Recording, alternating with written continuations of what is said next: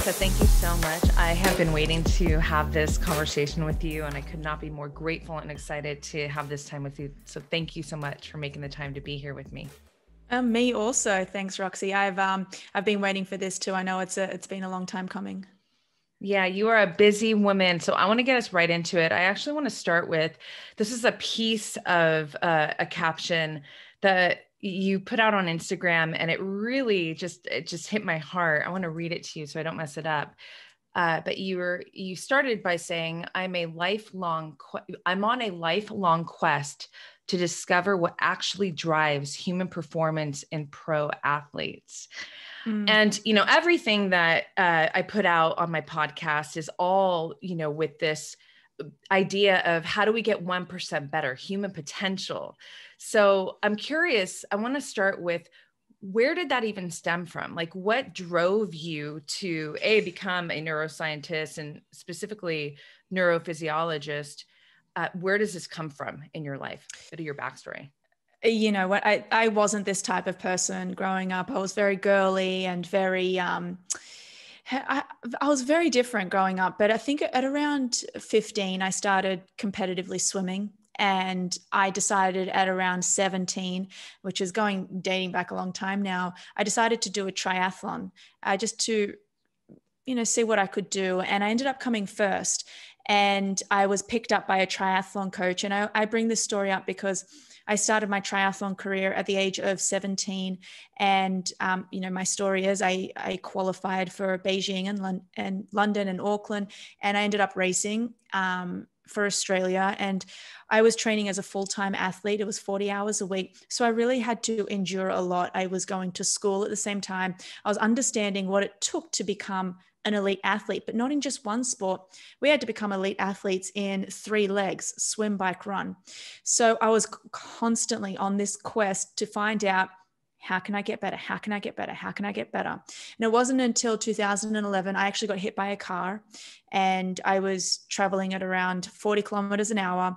The I can't do the quick math in two miles. Um, and there was a car traveling, you know, at three times the speed, and he couldn't see where he was driving too fast, and he actually slammed me into a guardrail. So I had to forfeit my title, and you know, legs were smashed, bike was smashed, arms were smashed. So it was a really scary period of my life, and. Triathlon Australia ended up hiring a coach uh, to come and see me. And this coach said something really profound. This was in 2011. And he said, the only way that you're ever going to get back on a bike is not through training, it's not through rehabilitation. He said it's going to be through your brain. I was like, well, what does that mean? And he said, I'm going to hook you up to this thing called an EEG.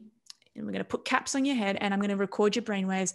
I'm going to show you what's possible for you to go on and, you know, go through to the next round of, um, you know, the following year and qualify. I thought you're out of your mind.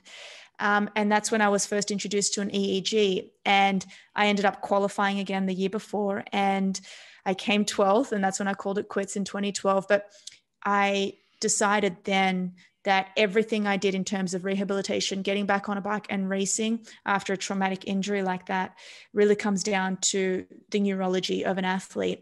So that's when I decided to dedicate my entire life to understanding the brain, and it's my it's my greatest love affair. That's amazing. I mean, not first of all, it's hardcore that you got hit by a car and that happened. It's so interesting though. I mean, I talk to so many people and I know even in my own life, you know, I my passion for just like everything biology, physiology, uh, nutrigenomics, like how food affects us, neuroscience. Where did that really stem from? Three knee surgeries and a lot of shit that took place in my body after that when I was a teenager, right? So pain um, can really be a strong catalyst for an yeah. individual to find passion and purpose. And one thing I just want to say right out, you know, the start of the conversation, one thing that I really love about you and what you share is I can really feel the authenticity in your desire to support individuals with your content. So I know that so much of your career is focused around, you know, high performers and athletes, but when I listen to you on Clubhouse and you're really the only person I listen to, um, you know, some of the conversations are more broad there and it's just I can really feel that in you. So I just want to say that, and then we can dive into all the. I'm very excited to pick at your brain right now. Um, so, on the topic of brain, I mean, I have this whole tagline um, age like a badass, right? And that doesn't mean just stay, you know, small and body composition that's important. I'm really thinking about cognition. I'm thinking about if we are lucky enough to make it into, you know, these later decades of life, can we function cognitively like a badass? And if we can, what do we need to be doing in our lives right now? You know, I'm in my 40s, midlife, um, and even earlier on. What are the things that we need to be paying attention and doing to mm. achieve that? Um, I think a great place to start in that area, if you're cool with it, is just, you know, what are some of the things that you're what are some of the greatest levers that you have been seeing in your career that actually, you know, people who are doing it right, people who are taking care of themselves in the right way, specifically their brain, that they're able to perform not just necessarily as an athlete, but just in life in general at a very high mm. level. Mm. All right, so let's you know let's take for example a centenarian. Let's take a somebody who's lived to 100, and we can assess this patient and say, well, Jack, for example, Jack is 101 and he's living well. He's able to walk with his kids and his grandkids, maybe his great grandkids. He's able to uh, sit down and stand back up. He's able to read a book and he's able to communicate with you effectively. It's like, well, what does that take? And if we reverse engineer that, and there's been a lot of uh, studies and some great labs, uh, David Sinclair's been focusing on this. You know, what does it take to really age well? And that goes into the area of medicine called longevity. So there's so many different biomarkers that we can look at that says these are the things that we need to be doing every single day periodically to age well, and they involve interventions around exercise, some form of cognitive training, where you know something that's going to be demanding uh, mentally for you, and what you eat. I really think that they're the three pillars for longevity. So let's you know cut a slice of that and look at the brain. Uh, early on in my career, I was doing a lot of Alzheimer's disease uh, work, research, manuscripts. I was looking at early detection or early onset Alzheimer's disease with an EEG. And that's my primary modality right now. You know, an EEG is an electroencephalogram where you put it on your head. In Australia, we use a 1020 system. So you put these electrodes on your head and you can do specific things or you can just sit there and it takes a reading of your brain and with Alzheimer's disease, there is no cure. Um, and in order to really detect Alzheimer's disease, you do have to have, you know, many different tests done. But to, to detect memory issues and cognitive impairment, we can do that with an EEG. And so that's what I was doing. And I, and I found some so many fascinating things. And when we look at cognitive impairment as the brain ages, it's interesting to see where this cohort of individuals, like what are they doing? Uh, what are they eating? And let's let's assume that somebody uh, doesn't have uh, the alleles or the genes to get Alzheimer's disease. Okay, mm-hmm. let's say that they're clear from that, and that it's just lifestyle factors that has uh, given them, you know, they've gone backwards in their brain aging pretty much. So, what do they look like? Well, it means that they're having a lot of lack of sleep. So sleep mm-hmm. prevention. I sleep. I talk about sleep so often. Sleep, I think, is one of the most underrated high performance tools that we have. It can help you age backwards. So sleep is where we're going wrong in terms of aging well cognitively and overall. We'll go into sleep later on. Um, nutrition, and when I talk about nutrition, I'm not so much talking about what you eat. I not just what you eat, but also the quantity, the quality, the timing, um, you know, who you are as an individual, what are your lab work. So everything around that. And then also exercise. I think it's imperatively important to be exercising, even if it is 15 minutes a day. And then also the form of exercise that you're doing. So you could, you know, your guests or your community could think this girl thinks that we're all doctors or we all have our own personalized board of directors to look after our health. And it's not like that. However, I I do caution what I say by by telling everybody sometimes you do have to become your own physician or your own um, uh, whatever you want to call it, your own health practitioner. Yeah, no, I so agree with that. I always say, like, you have to be your own bodyguard, right? Because there's yeah. always things that are going to be happening to us as we're moving through yeah. life. Yeah. I love that. Can we dive into sleep? Because that is one of my favorite topics that you talk about that I just specifically like the way you communicate about it. I remember you posted something not that long ago. You mentioned like everyone's looking, so many people are looking for, um, you know, like the latest nootropic. Yeah. And you're like, eh, you mentioned sleep and maybe even sunlight or something. So let's dive into that because I thought that was so true. First of all, I know I, I know in my own life, the difference of when I'm on, I track my sleep. When I have a oh, great, oh, you're wearing a Whoop watch. I see.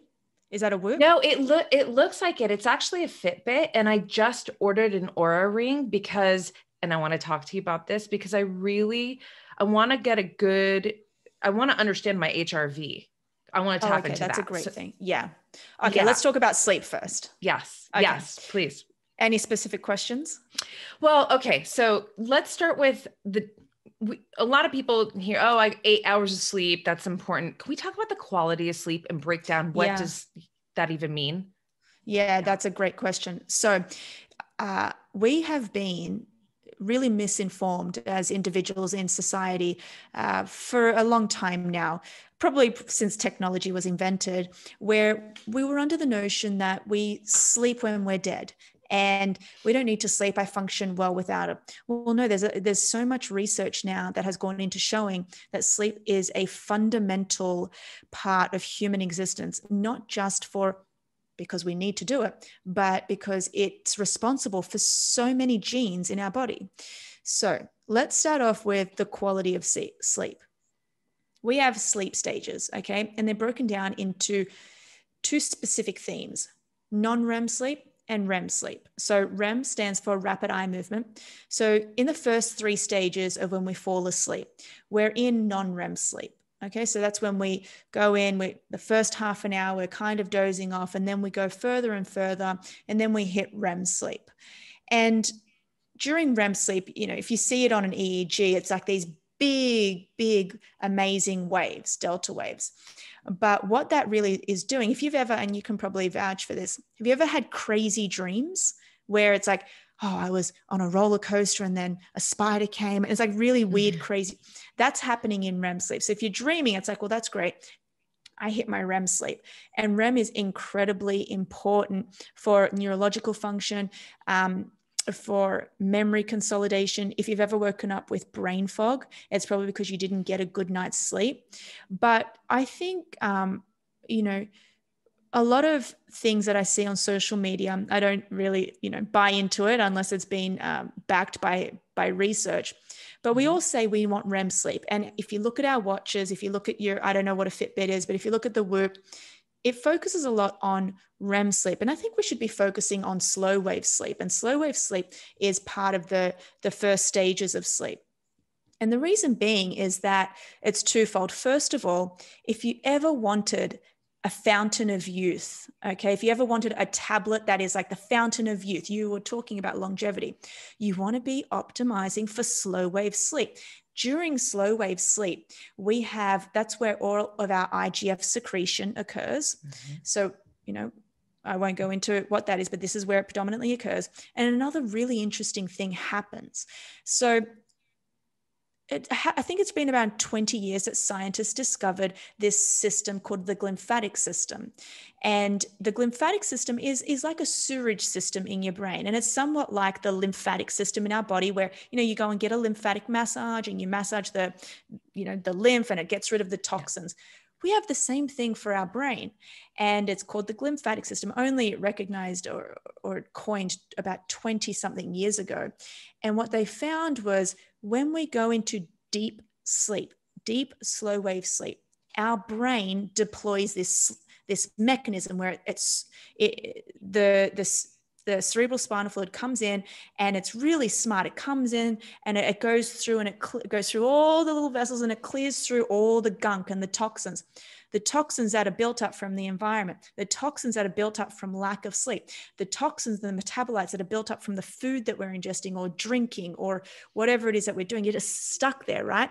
But if you're getting yeah. into slow wave sleep, you're cleaning it up so you wake up and you feel fresh. So that is so powerful because you know what else it's doing? It's also clearing out these proteins called tau proteins. Now, earlier you mentioned, well, what's cognitive impairment? And if anybody knows what cognitive impairment is or Alzheimer's disease, Alzheimer's disease is caused by the phosphorylation of tau protein. So it's a certain type of protein that gets built up, okay, in the brain. And what happens is it starts to form these plaques, it, it gets clogged up. So therefore, blood can't flow properly. And this is why sleep deprivation is closely linked to Alzheimer's disease patients. And also, if you look at Alzheimer's disease patients, once they're diagnosed, Alzheimer's disease happens, you know, it starts to happen 20 years before the diagnosis. So you look back in time and you ask these patients, were you sleeping? They're like, I haven't slept. I can't sleep. And it's very interesting. It's like, well, so we really, if anybody's out there and they're thinking, why am I waking up with brain fog? Why am I not thinking clear? Why do I feel like this? We really need to be optimizing for these sleep stages. Okay. So I hope, like, you know, just, you know, I ramble a lot, but I hope I've just no. really outlined the importance of sleep. And I really want to finish off this section by saying, there was an article, I bring this up in almost all my clubhouses, uh, but there was an article that was produced um, in a very high quality, stringent journal, PNA, PNAS. And what they did was they grew, they took a group of healthy adults, uh, 20 adults, and they deprived them of sleep for just one week. Okay. Just seven days, deprived them of sleep, and they deprived them down to six hours a night. Okay. A lot of us may think, well, that's what I get on a daily basis. Right. That's actually uh, sleep deprivation. And guess what they saw after just one week of sleep deprivation? What? They saw an epigenetic change of 3%.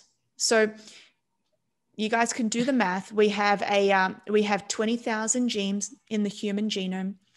3% of that is what around 700 genes, let's just say. That's huge.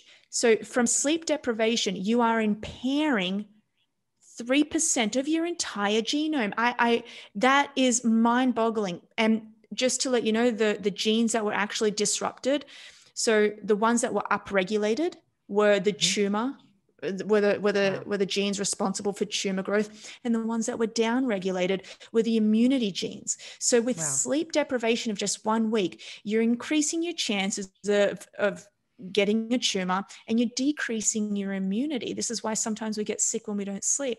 And I think that's so fundamental. Knowing everything I just said, everybody should be thinking, how the hell do I optimize, optimize for sleep? My sleep. Yeah. Oh my yeah. God. No, that's that. First of all, that's insane.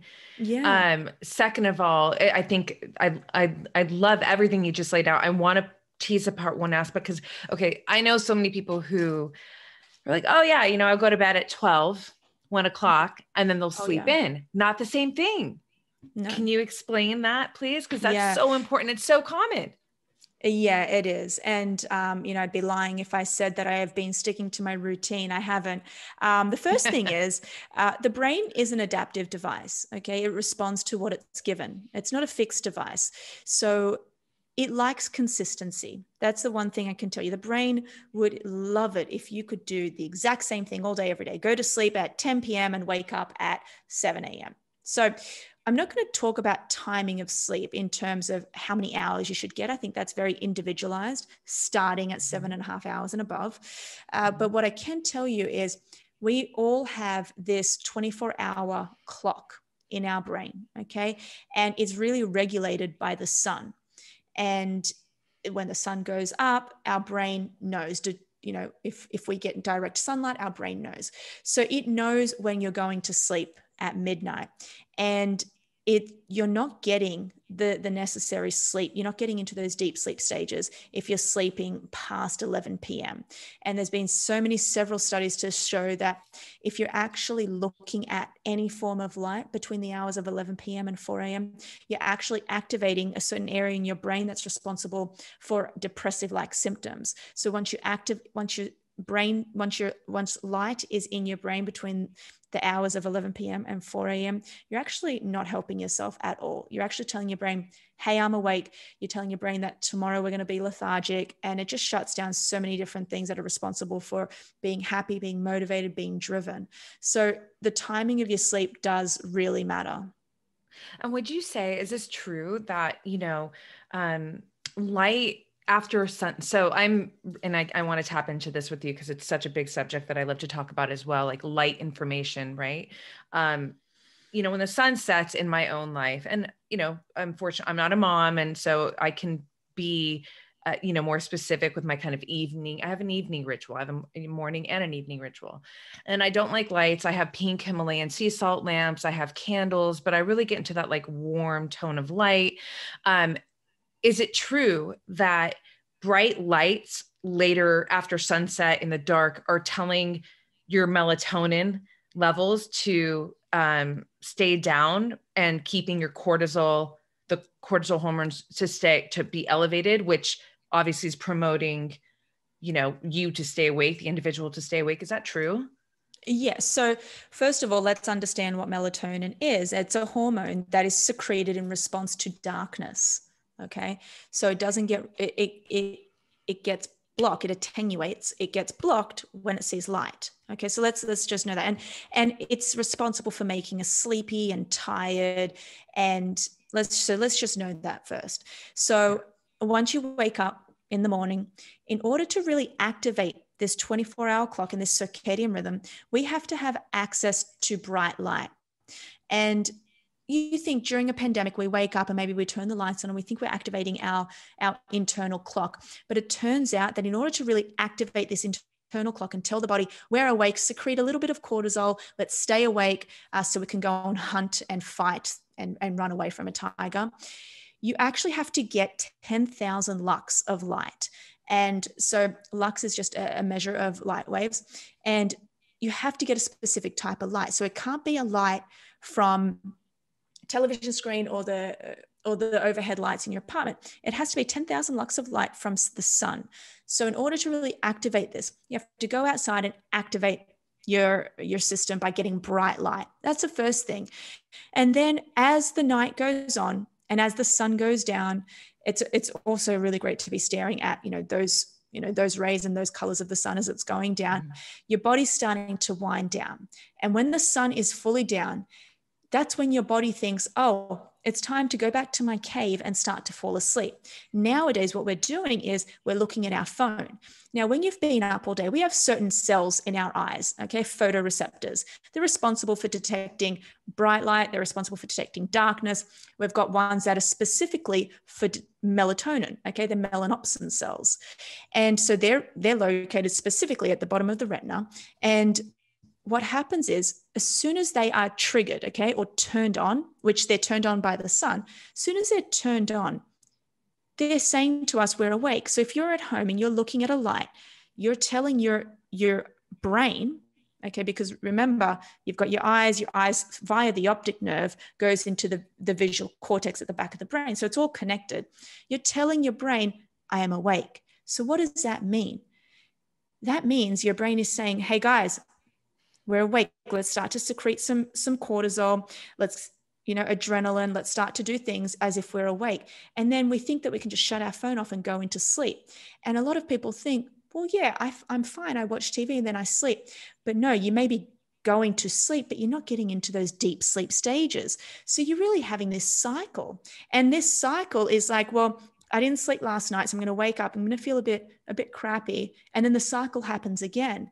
So to the answer your question, yes, because if melatonin is responsible, uh, is you know gets secreted in response to darkness, and you've got bright light there, it's not going to secrete melatonin. Okay, it's going to yeah. block it, so you're not going to be getting into those deep sleep stages. What are you? What are the? Um, I, I mean, I know it's going to vary for everybody, um, but in terms of getting optimal amounts of deep sleep, REM sleep. Can you throw out some numbers? Because I never see that. Like I get about yeah. two hours of REM and on a great day of deep, it's like an hour and a half to two. And I'm I always get more REM than deep, which I'm an athlete, not competitive, but I'm like, oh, I want more deep, you know, because yeah, restorative. Yeah. So you should be aiming for your your total REM sleep to be 20% of your total sleep time. Okay. Okay. Yeah. So if you cool. look at your REM sleep and you see that it's, you know, two hours, and then you look at that in comparison to your total sleep, aim for 20 minutes because that's the that's the good dosage.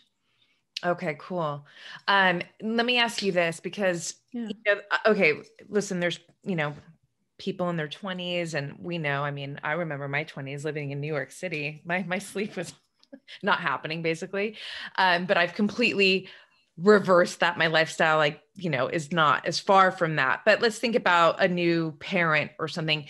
Can any of the detriments of um, not getting great sleep be reversed you know so many as so many mothers ask this question and it's like a it's like a plea. They're like oh but i it's yeah. not my fault. I'm like okay.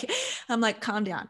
So yeah. sleep is not like a debt. It's not like it's not like a bank where you can just repay the debt. Okay you can't it's like with any any neurodegenerative disease once you get it it's it's more so about great we've got it. Uh, what are the lifestyle interventions that we have to do to either uh, stop the ongoing, you know, stop the progression or slow the progression, I should say. So with sleep, you can't get back missed sleep. This is why um, I tell a lot of, I've got a lot of 16 year old boys who I, who come into Neuro Athletics, I'm trying to tell them, you know, get it right now because as soon as the brain is developed at around 24, 25, you can't really do anything from there. So I, you, you can't reverse it. You can't you know, binge sleep during the week and expect to make it up on the weekend. So if you are a mother and you are going through this, um, this natural thing that we're, you know, a lot of us will probably go through in in our lives, you just have to, you know, there's always a good time to get on a sleep protocol, and that's just something yeah. that you have to do. Okay, yeah. thank you for. But you can't go back into type. Yeah, you no, can't. No. okay. So one of the other things that I'm really excited to talk to you about in this conversation is neuroinflammation and the connection to depression. Can we dive into that? Yes, we can. And I'm so happy that you brought that up because just recently I had the privilege of sitting down with a wonderful man. Um, he's a board certified psychiatrist and his name is Dr. Charles Raison. And his research, uh, his research is focused on the relationship between inflammation or neural inflammation. By the way, neuro and neural, exactly same thing. So um, his his his work is focused on neural inflammation as it relates to depression and also decreasing inflammation to alleviate some depressive like symptoms via heat therapy. Okay. Oh, wow yeah so whole body hyperthermia. So let me just let's talk mm-hmm. about what inflammation is because i think it's this it's this term that gets thrown around. When we hear the word cortisol and when we hear the word inflammation we we kind of think don't want too much cortisol because i don't want to be inflamed. But pretty much inflammation is it's an inflammatory response neural inflammation inflammatory response within the brain and spinal cord. And it's really mediated by these things called cytokines and many other different things that we're not really going to go into. So what charles did was he was seeing many many different patients okay who were being diagnosed with uh, you know clinical depression okay from other doctors or by himself. So this he he mentioned that the standard protocol was you come into the office you tick off 10 or so boxes and you know these boxes or through this questionnaire and with you know in discussion with this patient he has you know he has clinical depression. I'm going to put him on an SSRI such as Prozac. Okay, so then they go on Prozac, serotonin reuptake. So it's like, okay, we're going to get them, you know, out of depression in the hopes of getting them out of depression by this single pill. And he thought, well, what what is the similarities with my depressive with my patients who have got depression and with you know a you know 20 patients who don't have depression so this was the study he had a cohort of, uh, of patients who didn't have depression they were just healthy adults then he had a cohort of patients who had clinical depression and who were on some form of SSRI. He did blood work for all of them. What he found was that the ones with depression had elevated biomarkers of inflammation. Okay. So these people had high inflammation.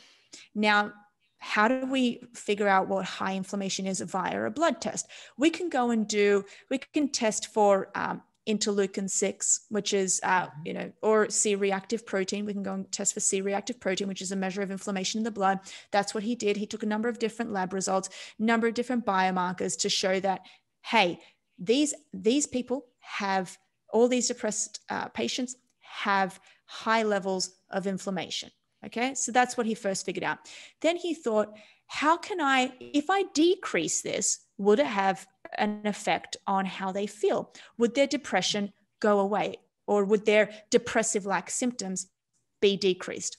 So he started to research and he found that whole body hyperthermia, which is when you get your entire body to a certain temperature, I believe, I'm don't quote me because I'm talking in Fahrenheit. I believe it's 101 um, Fahrenheit.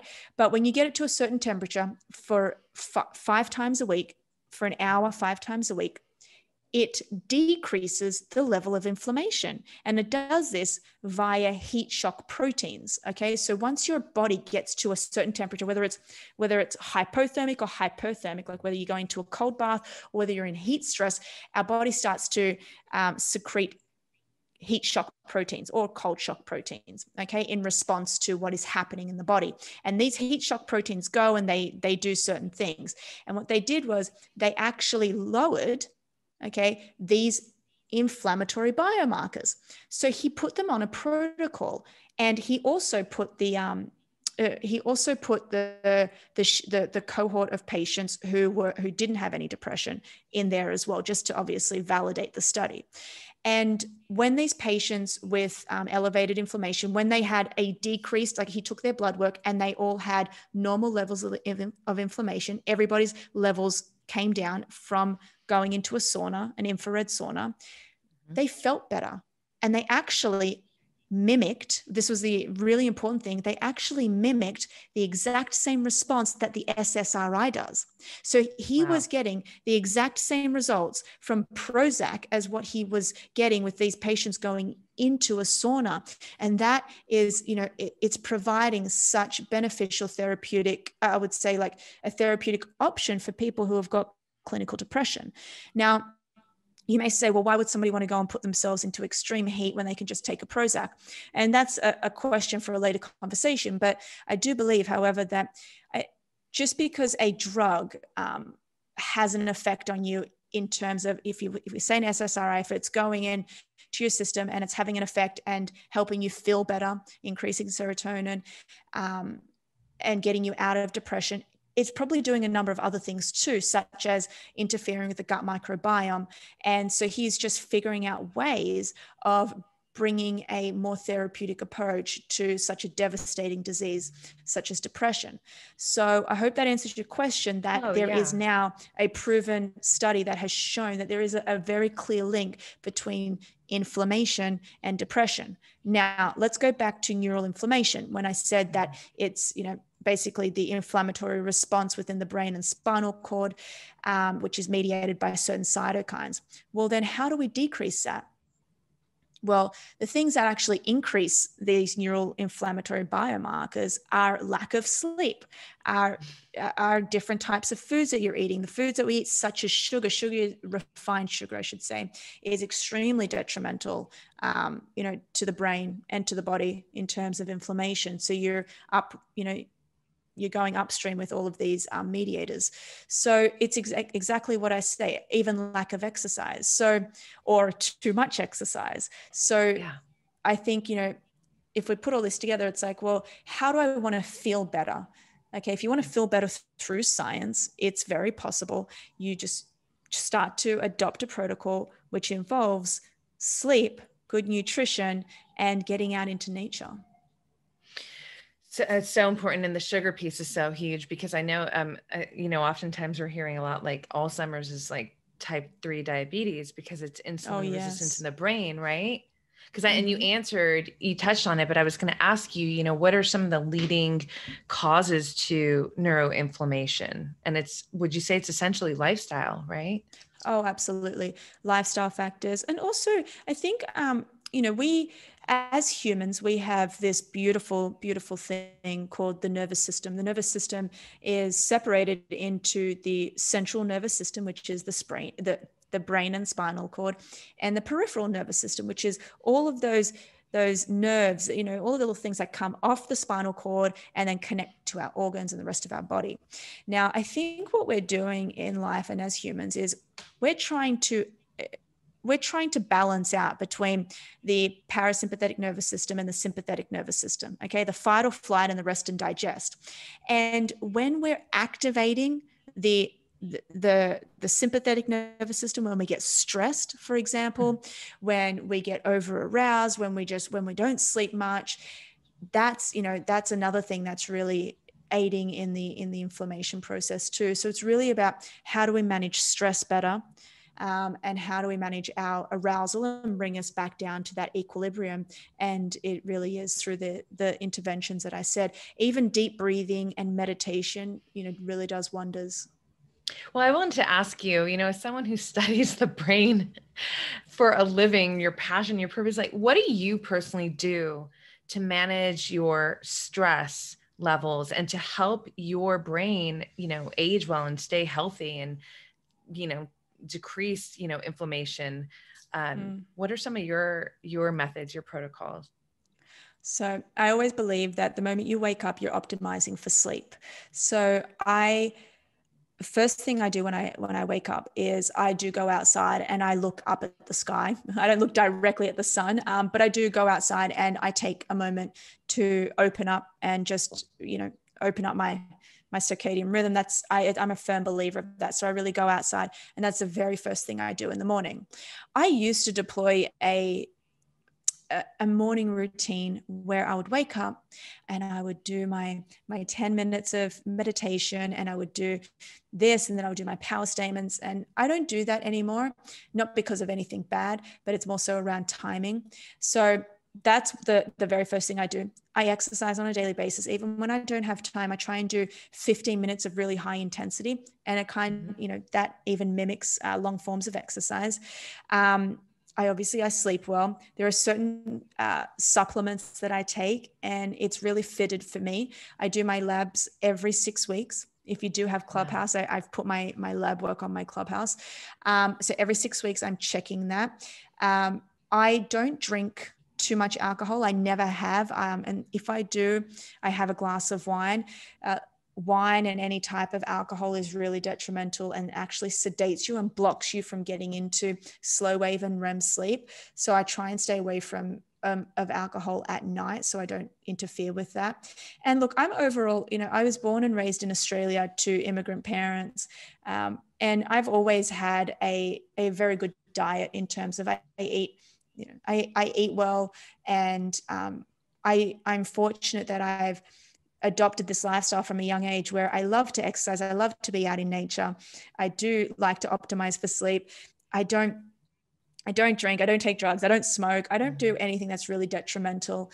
Um, I am trying to decrease my sugar intake. Um, but one thing that I think is really good for the brain mm-hmm. is uh, so is community. And there's a lot of you know there's a lot of uh, laboratories now focusing around socialization and its role in how we feel like in terms of anxiety and how our brain is reshaped. And i think that's another area i'm not too well versed in but i'd love to start understanding how people or community or feeling a sense of community and feeling a sense of being part of something uh, has an effect on our brain. So um, that's something that I think we need to be getting into post pandemic. Um, we've we've seemed to really lock ourselves into a into a dark room, and we don't seem to you know, be getting out and meeting people. So yeah. Yeah, and there are detriments that are, you know, becoming more and more visible to, you know, in that specific area. You know, with social creatures and you know i know it in in the personal sense and then you see it you know happening social media. So um yeah no it's cool. It's cool to learn your specific protocol because obviously you have like the inside information on what's going on here. And so um, I, I really value you sharing that. Thank you. I want to talk about um, I want to uh, talk about your company Neuro Athletics. I think it's so badass that you have created this. And can we can we let's talk about the what what drove you to create this company first and then dive into it a bit. I always imagined, you know, like I said in my, you know, at the very early part of this podcast, there was a clear link between the brain and sport. And I never knew what that was I, I just knew that I started to live my life at the intersection of neuroscience and elite athleticism. And I was doing everything to, you know, I was taking, um, you know, back then I was thinking, what can I do to change my brain and how can I live at this intersection to keep moving up? And I, when I started consulting, obviously, you know, I went to med school and I also wanted to start my company. And I there was a there's a one of our top soccer players back then. This was in 2014 when i started my company. He he said i'm you know i want to employ you to consult for me and build out a, a mental program for me. He said but you know he goes you need to invoice me. And i didn't have a business back then. I was just like oh okay i guess we're going to start this I went home, I started my company, and it was like, What's your company's name? And I was like, Well, you know, it's neuroscience and athletics. And I, I was like, It's really neuroathletics. So I started the company like that. And I, it's literally now a, a full service sports neurology agency for athletes. We have 42 athletes one on one on our books, um, spanning from NBA, NFL, and Major League Soccer. Um, and we do everything from brain optimization protocols. We do pre and post scanning of their brains. And it's um yeah it's very it's my heart and soul I love that. That's so amazing. I mean, I have so many athletes in my life, pro athletes, my best friends, Olympians.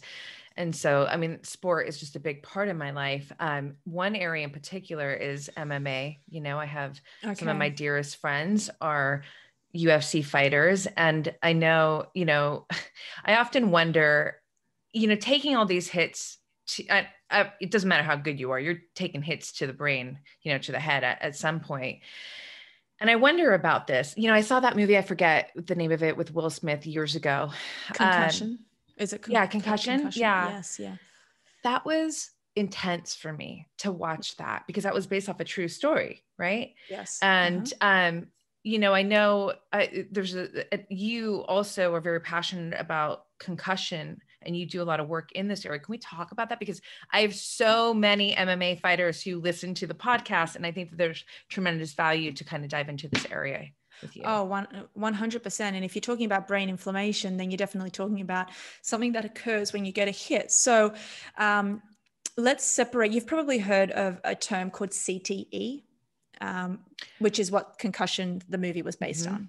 Okay, yes. so CTE stands for chronic traumatic encephalopathy. And it is a neurodegenerative disease that is caused by repeated hits to the head. So a concussion is like a blow to the head.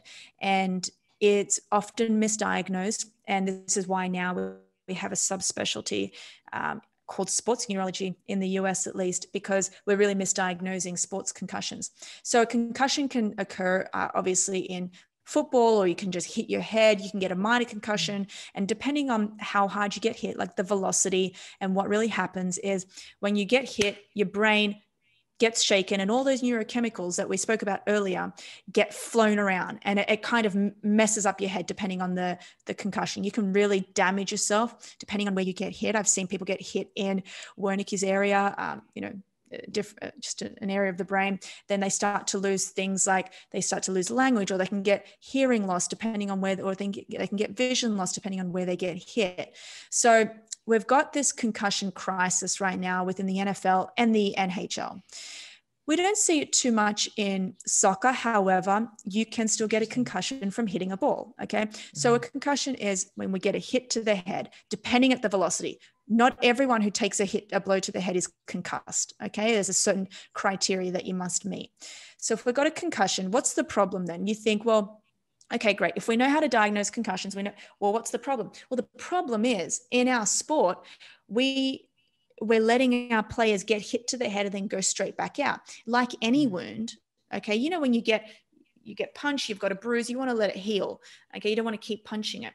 So these right. players aren't letting themselves rehabilitate that concussion. So they go on and they get another concussion. And it's just, it just keeps beating and beating and beating. Then you stop the blood flow. And then what ends up happening is you get chronic traumatic encephalopathy. And that's when it's somewhat similar to the phosphorylation of tau protein, where your brain, you know, really gets these clumps and, you know, of the like the plaques and tangles that I spoke yeah. about earlier. And they make athletes or individuals, I should say, do certain things. Uh, we know that, you know, two months ago now, um, I think it was a retired NFL player, shot his doctor, his doctor's wife, and a son, I believe, or a, daughter. And that's devastating. But that is not uncommon. We're hearing a lot of athletes going out and doing this. And the sad thing is with CTE, you can't diagnose it until post mortem. So someone has to die and they have to go into a mm-hmm. brain. If they donate their brain, they go into a brain bank. You cut it open, you see okay, signs of CTE, and you'll really see these big clumps of, of blood clots, like clumps, you know, falling out and atrophy to the brain, shrinkage of the brain in certain areas. So it's a it's it's really sad.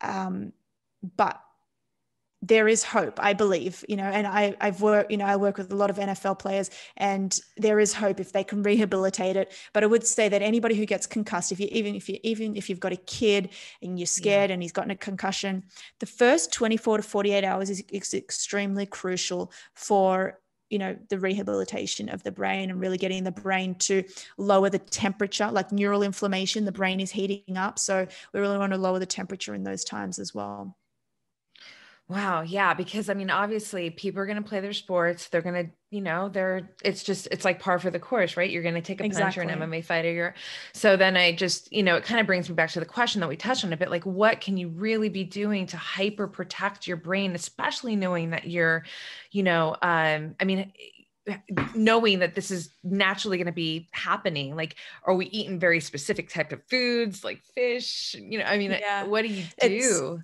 well, look, you, you can't. I mean, you know, it's not like you're going to go and eat some ketones and prevent someone from hitting into your head, right? Um, and right. look, another thing is the helmets that are being used in um, in sport are very heavy as well, and they're aiding in that. Um, you know, neck strength is another really big thing when it comes to concussions, and you know, keeping that neck strength in place to prevent the shaking. You know, uh, when you get hit. Um, but in terms of really protecting the brain, I, I think if you there's an there's a lot of research that's being done on um, on fat intake in terms of um, having a ketogenic diet as it relates to a post traumatic insult, such as a concussion.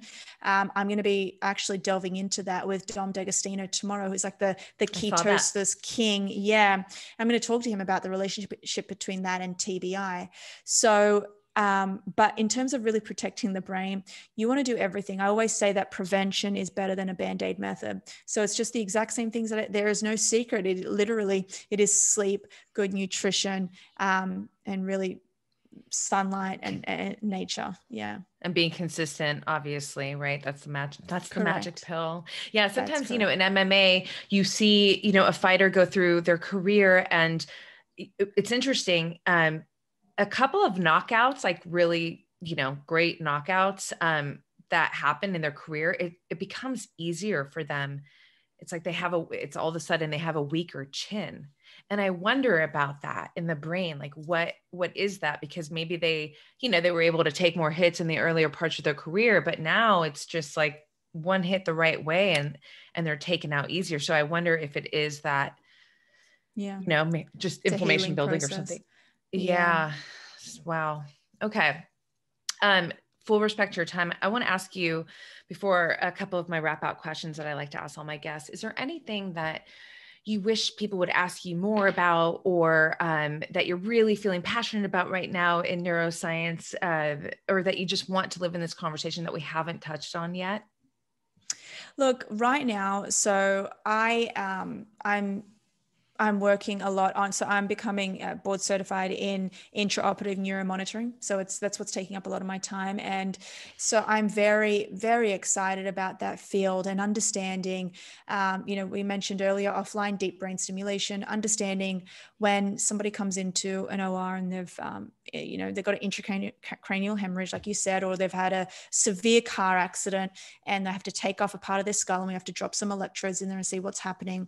I'm really excited to find out what and this is an answer for me too like what can we really discover when we drop these electrodes in the brain and what's the effects that we can have on an individual? That's when our area i'm really excited about. I'm very excited about how sleep can change players not just their performance but their overall uh, it, like the playoffs right now. I've you know mm-hmm. i've got a number of athletes who are who are suffering from um, you know they, they're traveling and it's just it's killing them. It's killing them in every way in terms of sleep. So i'm really important i'm really interested to find out how can we ch- change the point scoring system or how can we adopt an algorithm that can predict which player is going to lose or which team is going to lose based on how many times that they travel. I think that would be a really wow. interesting thing to understand. Um, but i'm going to be completing you know I like to study and delve into certain areas of neuroscience over a long period of time, so I really understand it. And it's still, I'm still on the areas of sleep, um, longevity, and obviously um, my studies. Yeah. I love that. Well, thank you. It's going to be fun to just continuously keep up with you as you're you know learning and again like i said at the top of the conversation i just really feel how I'll, just you genuinely are here to support and i and i so appreciate that um so one of my questions that I love to ask my guests before we wrap out is if you had a magic and I feel like I know the answer but no. If you had a magic wand and you could give the masses one positive habit that would have a large positive ripple effect in their life, what would it be and why? Sleep. And it, it, would be deep. So I think it's a, I think it's inhumane actually um, to not sleep well. And I think that we should, as a society, be uh, rallying together to put in some sort of law around sleep. I think sleep has the power to change everybody um, for good and bad. And look, it also will decrease the amount of car accidents that are happening on the road. So, oh, yeah, truly. Yeah, it'd be a, people a really strict sleep schedule. I love that. Yeah, people would be calmer, right? Okay, so uh, the final part is um, I do I have these rapid fire words, just a couple words uh, that oh, I'm gosh. going to. Yeah, no. Anyone who's ever been a competitor at some point, or currently is uh, that comes on my podcast in this sp- specific area. It's really funny. I have to say, there's no competition. I'm going to throw words at you, and you do not have to be rapid in your response, and you don't have to give me a one word answer. It's just whatever comes top of mind and top of heart when you take these words in. Um, I would love that feedback from you. Ready? Mm-hmm. First word is love. Family. Oh, do I have to? Actually, is this a one word answer? No, it could be whatever you want. Sometimes, yeah, you can elaborate. Yeah. Well, when I think of pure love, uh, that unconditional love, I see my mom, my dad, my brothers, and my nieces. So I relate. Yeah. I love that. Um, fear. Oh, what do I think of when I think of fear? I think it's um, something that is m- made up in our heads via uh, society. I love it. Challenge. Oh, I love challenges. I think everything is a challenge. I think if I'm not being challenged in a certain area, I'm not growing. And that's actually the, the basis of many neurological foundations, such as neuroplasticity. I think we should be challenged in every area. Overcoming challenges is very important. So true. So good. I'm I'm with you on that, girl. Addicted. Uh, next word is passion obsession. I think um, I look at passion and people say, You're really passionate. I'm like, I think that there's more to it than that. Passion is, I love passion. I think I have passion for everything. I have passion for food. I have passion for exercise, like passion for the sun. It's like passion. But to have something that's really, I think to be really ultra successful, you have to be obsessed and you have to be more than passionate. Yes, I love it. Courage scary courage having the courage to follow your dreams if you know what your dreams are um, can be scary but a powerful thing. Resilience. Resilience um, just i think about resilience i think about uh, not stopping until you're dead. I love it that's what my coach used to say. He's like, "You do not stop pedaling unless you unless you die." I was like, "Oh my god!" And every time I stopped pedaling, he's like, "No." I was like, "Okay." I love that. Sometimes when I'm training, and I have so many different forms of training, but I'll tell myself, uh, like I do these long, deep sand beach runs in the backyard, and you know, like six miles, or whatever. It's long for me, anyways. But um, you know, sometimes it's just really hard, and I tell myself, if you're gonna fall, fall, just fall. Mm. You're okay. You're safe, but just keep mm-hmm. going. then mm. we'll crawl. Um, yeah. The final word is excellence. What do I think of when I think of excellence? I what do you think, feel? Oh, I, oh, that's right. You asked me what I feel. I'm telling you what I think. Uh, when I uh, excellence, I feel something that you really try really hard in, and you do it to the best of your ability. I love it. Well, Lisa, thank you so much. Um, I'm really, really grateful. You know, neuroscience obviously is like a, a, a, universe in of itself, and I'm not a neuroscientist, but I'm a total geek in in this universe. And you know, when we talk about human potential, how to get 1% better every day, how to optimize how to live from your fullest potential, you cannot ignore, you know, this universe, this neuroscience. And and and my my goal and one of the greatest gifts about having this podcast is that I can bring on incredible people like you who not only have the information but are able to communicate it in a way where we can kind of distill it down so that our everyday people can take in parts of it and apply it because that's i mean there's obviously so much value to this you don't need to be a pro athlete or a high level intellect or someone who's but you know all of this stuff is so important for everyday people so um, yeah. it's just an honor to have you on i appreciate no, you and i'm you. very grateful to be connected yeah. and if anybody um, is interested my company shoots out a, a free newsletter and it goes out to over 15,000 people. So I would definitely tell people, I don't know if you've signed up for it, but um, you know, it's it's you know, it's an amazing email that talks about all of these subjects and it's all around centering around how can we get an athlete to perform better. And when I say athlete, I mean anybody. It doesn't mean just an athlete. Right, right. Because life is a sport, right? Correct. So. Yes. Mm-hmm. I love it. Great. So everything will be in the show notes. So to stay connected, I love your IG. You're always putting out great information. Clubhouse too. Where are the best places to send people? Uh, Instagram, Twitter. I'm um, I'm a fan of Twitter, and you can follow my podcast and definitely Substack. So it's my if you just go to the link in my um, Instagram, you'll find it.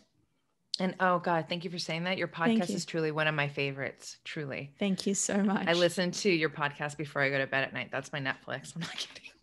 oh my God, I love that. I'm not thank even so kidding. Much. I'm such a geek. No, thank you so much. I really appreciate it. thank you, girl. To be continued. Talk soon.